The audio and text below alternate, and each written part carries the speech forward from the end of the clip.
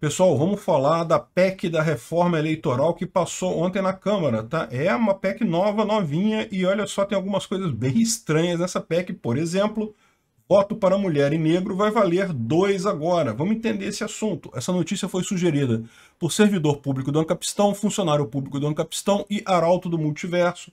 Obrigado ao pessoal que sugeriu a notícia, obrigado a você que está assistindo ao nosso vídeo.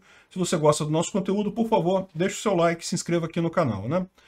Pois bem, Além da PEC do voto impresso, vocês lembram, essa foi muito discutida, a gente falou sobre ela, acabou não passando, coisa e tal. Tinha uma outra PEC também referente à reforma eleitoral rolando na Câmara mais ou menos ao mesmo tempo. A gente chegou a falar sobre ela aqui, ela previa algumas coisas boas, como distritão, algumas coisas ruins, como volta da coligação. No final das contas, votaram, votaram, votaram, ficaram as coisas ruins, as coisas boas acabaram. Olha que coisa. E uma das coisas ruins que entrou foi justamente voto em dobro para mulher e para negro para a contagem do fundo eleitoral. Ainda assim, não deixa de ser um voto qualificado, né? Ou seja, essas pessoas agora têm um poder maior do que a média da população para eleger políticos. Não preciso explicar que foi uma pauta da esquerda, né? Foi uma, um destaque incluso pelo PT, uma alteração inclusa pelo PT, e que recebeu votos principalmente da esquerda, mas recebeu muitos votos dos outros também, tanto que passou, né? Tanto que entrou nessa PEC. E está é, tá aprovado isso, tá? Embora que o anúncio esteja falando que ó, o PT quer voto para mulher e negro vale em dobro, na verdade não é quer não, já passou, já está aprovado. Na Câmara já está aprovado, pelo menos uma votação. E aí, o que, que acontece nesse caso aí, né? É, lembra, você tem, não, não vai valer, pelo menos por enquanto, para eleição, pelo menos por enquanto. Mas é, é, esse voto em dobro vai ser contado para a distribuição do fundo eleitoral. Então, partidos que tiverem mais votos em negros e mulheres tendem a receber mais fundo eleitoral. Isso é muito legal, porque isso mostra uma, uma verdade que é a seguinte, né? no final das contas, essa máquina toda existe para tirar dinheiro. E partido é um, é um, negócio excelente no Brasil. Virou um negócio. Você abrir um partido virou uma empresa, um negócio que você tem e que ganha muito dinheiro. Aliás, se você olhar essa reforma aprovada na Câmara, essa PEC aprovada na Câmara, é a PEC do partido empresário. A verdade é essa. Os caras querem ganhar dinheiro com eleição. Isso daqui já é um absurdo, porque já cria voto de classe A e classe B, ou seja, tem votos que valem mais do que outros.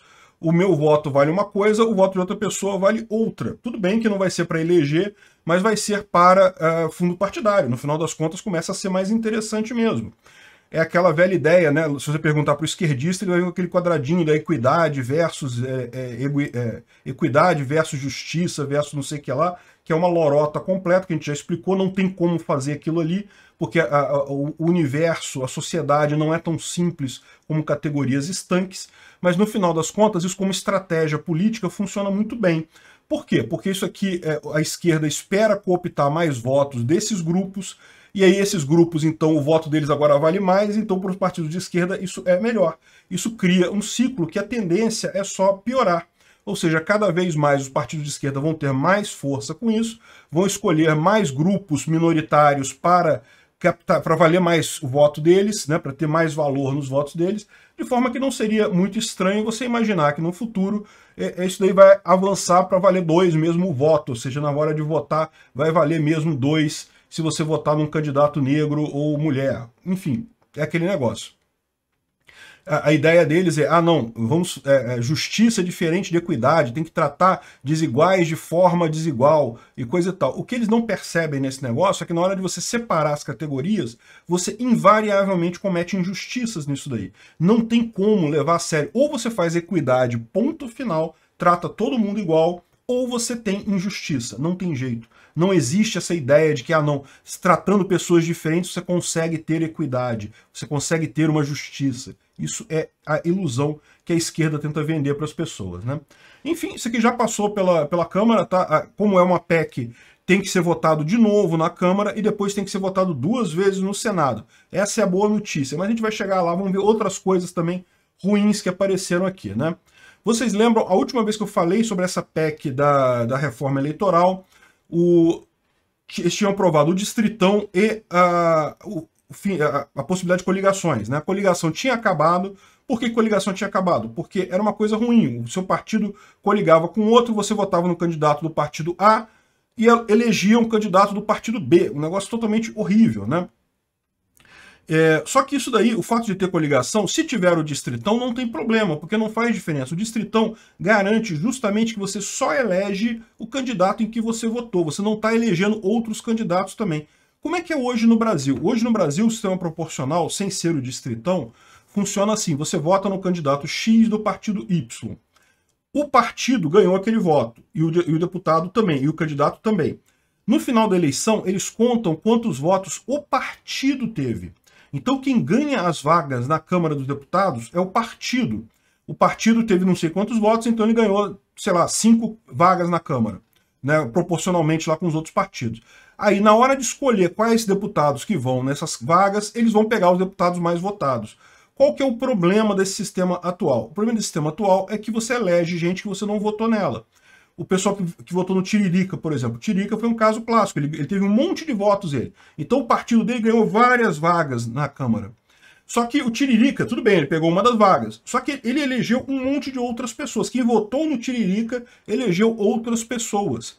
E muitas vezes é do mesmo partido, são pessoas que pensam igual, mas muitas vezes não. Muitas vezes são pessoas que não têm nenhuma ligação. Na verdade, você está elegendo essas pessoas é, com o seu voto, embora esteja votando em outra pessoa. O distritão acabava com isso. Quem é, você vota, elege, quem é mais votado é eleito. Acabou, não tem mais esse negócio de é, é ir na rabeira de outro candidato, de você votar e eleger outra pessoa. Na minha visão, isso é um, um avanço enorme. É uma questão de realmente óbvia para a democracia. Para quem é eleitor, você pode reparar, nesse, nesse assunto, quem é deputado, quem é político, é, é, contra o distritão. Quem é eleitor é a favor. É tipicamente isso. Você pode ver, só político é contra o distritão.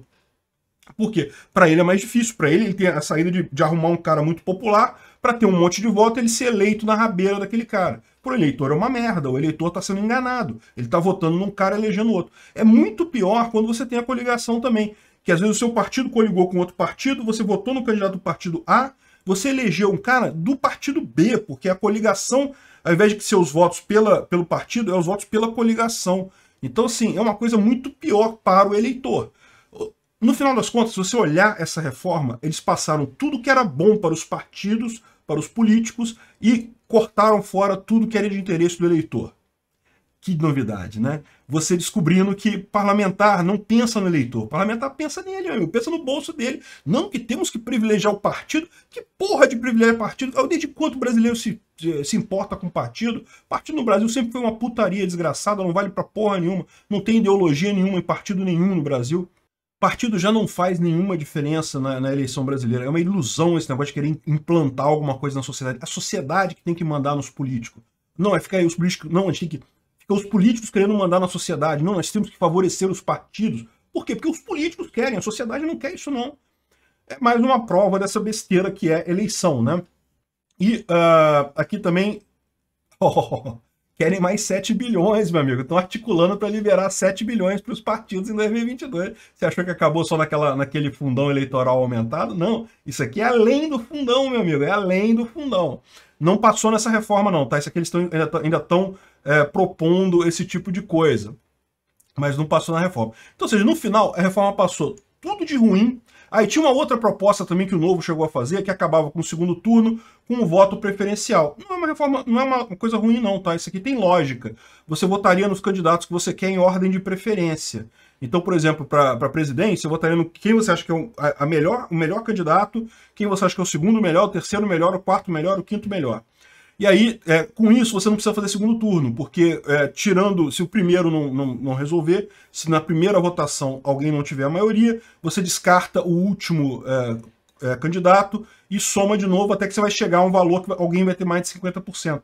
Então, é, não seria mais necessário o segundo turno. Seria uma coisa positiva também, descartado. Via de regra, o que eles fizeram foi isso. O que era bom para o eleitor, o que era interessante para o eleitor, foi descartado. O que era bom para políticos para partidos foi mantido. Ah, que coisa, né? Quem diria?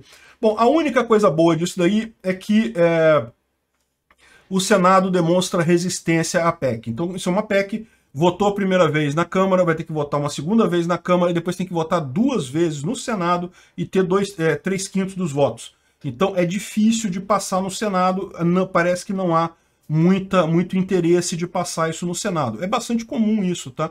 É, tanto que o pessoal até fala que tem uma, uma PEC do voto impresso que também está parada no Senado. Essas, essas reformas é, eleitorais costumam parar lá no Senado. Tomara que seja isso, porque essa reforma aí é uma porcaria completa, só ajuda político, não ajuda é, nenhuma pessoa. Né? A visão libertária disso é interessante, porque, na verdade, o juspositivismo acaba seguindo o justnaturalismo. Né? Como a gente fala, justnaturalismo significa que as leis surgem naturalmente na sociedade. Todo mundo sabe que matar é errado, matar uma pessoa é errado, todo mundo sabe disso. Então o que, que acontece? Você pegar na legislação do mundo todo, de todos os países, todos os políticos, todo mundo que sentou lá para escrever lei, botou lá que matar é errado. Por quê? Porque seguiram o justnaturalismo. Então, as partes da legislação justpositivista que são mais ligadas a coisas justnaturais, elas são comuns às legislações do mundo todo. Então, em todas as legislações, você tem é, vários tipos de leis, vários tipos de, de, estruturas jurídicas, mas em todos eles, matar alguém é, é considerado errado. Tudo lá tem lá tipicamente o Código Penal é muito comum é, em todos as, as vários, os vários locais do mundo. Contratos é muito comum, a teoria dos contratos é a mesma no mundo todo. Por quê? Porque são coisas naturais, são coisas que surgem naturalmente com a sociedade. Todas as sociedades, é, de uma forma ou de outra, acabam chegando à mesma conclusão sobre o que é certo e o que é errado. Mas aí você tem o contrário, você tem partes da legislação juspositivada que, que são totalmente diferentes de um país para outro. E o que, que isso indica? Isso indica que isso é invenção de pessoas. Juspositivista é tão burro que eles deixam a marca da patada de jegue deles, de burro, de idiota que eles são na legislação. Veja, acertar, todo mundo acerta no mesmo lugar, né? O alvo é um só. Então, Código Penal, leis de, de crimes e coisa e tal, propriedade, roubo, é, vida, é, liberdade, é muito comum, tem na, no, no mundo todo. Contratos também tem no mundo todo a mesma coisa. O, o alvo é um só. Na hora que nego faz merda, que nego erra, eles erram cada um para um lado. E o que, que são as coisas mais diferentes entre legislações do mundo todo? Duas coisas: imposto e eleição, meu amigo. Pega código tributário, é um mais diferente do que o outro. Por quê? Porque é político fazendo merda. Político fazendo merda, cada um faz a merda do seu jeito. Erra para cada lado.